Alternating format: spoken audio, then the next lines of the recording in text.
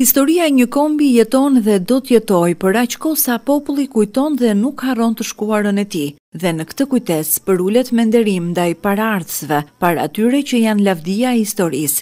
Operacioni i Dimrit një mijë e nëntëqind e dyzet e tre një mijë e nëntëqind e dyzet e katër ishte domethënia më e madhe e historisë së Lanç, ku trevat e Shmilit, Çermenikës, të Shpatit dhe të Gramshit janë shtylla heroike e asaj epopeje.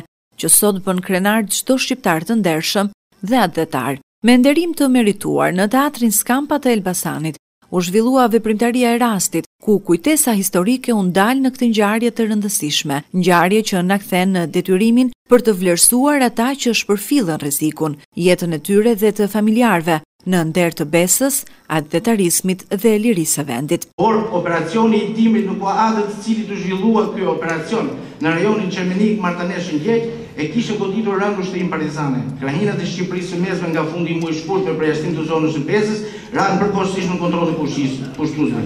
U rivendos administrata e qeverisë së Tiranës me prefektura e nënprefektura, u ngritën postat e xhandarmërisë së bashku me forcat e Ballit Kombëtar. Në fakt, Që lëvizja partizane u asgjësua e besoi vetëm Balli Kombëtar. Ai u lidh dhe më shumë me pushtuesit.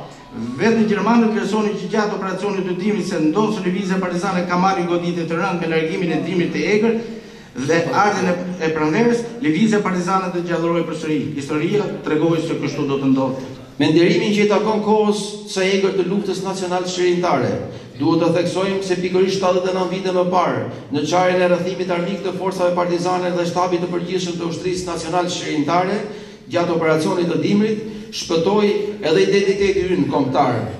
U shmang përfundimisht mosasimilimi apo shitja e Shqipërisë, sikundër tentoi Mithat Frashëri dhe sëra e tij.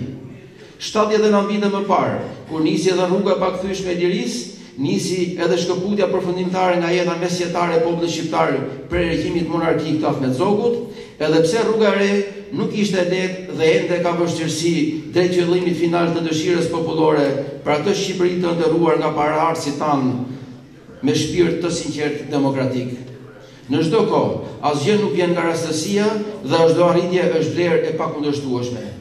Çarja e rrethimit armik në operacionin e dimrit, në kushte pothuajse të pamundura shprese, u arrit jo nga rastësia, por me mirëorganizim, guxim, trimëri dhe vendosmëri drejt shpëtimit të kombit.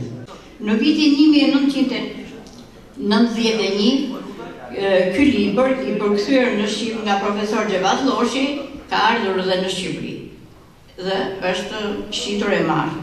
Është një libër që ka hyrë në fondin e qëndrueshëm të burimeve historike europiane. E ky njeri i ditur dhe një mik i shqiptarëve që i ka njohur mirë gjatë LANÇ-it është shprehur, Po të kisha qenë shqiptar, unë do të isha bërë partizan shqiptar. E ç'duam ne më shumë se kaq për t'u thënë atyre që ne kemi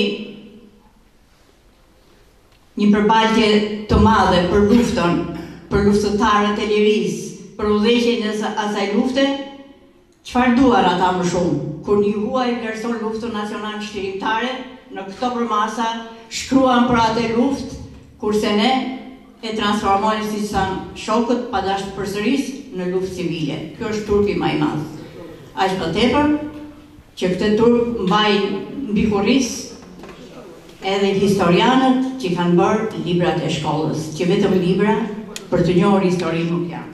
Të ftuar në këtë aktivitet ishin shumë nga trashëgimtarët, pasardhës të shumë familjeve nga trevat e Shmilit, Çermenikës, Shpatit dhe Gramshit dhe pjesëtarë të familjeve të dëshmorëve të rënë në LANÇ. Në praninë e anëtarëve të kryesisë dhe anëtarëve të tjerë të OKDA-së Elbasan ishin të pranishëm gjithashtu profesor zoti Ferit Balla, djali i trevës së Çermenikës, nga dera e Ballajve, një nga bazat mbështetëse të periudhës një mijë e nëntëqind e dyzet e tre, një mijë e nëntëqind e dyzet e katër dhe jo vetëm.